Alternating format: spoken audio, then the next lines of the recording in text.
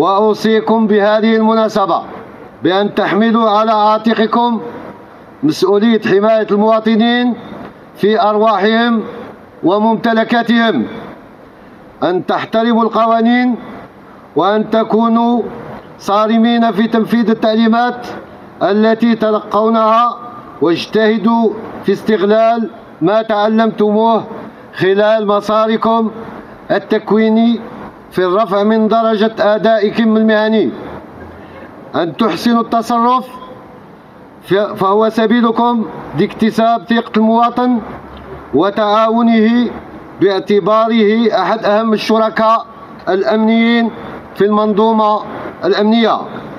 تحلوا بالانضباط وحسن السلوك والأخلاق فأنتم ممثلو دولة القانون.